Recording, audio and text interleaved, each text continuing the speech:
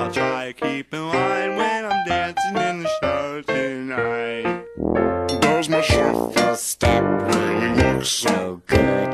Am I doing it the way I you think I should should? Would it be a miss If I blew a kiss when I'm dancing in the show tonight?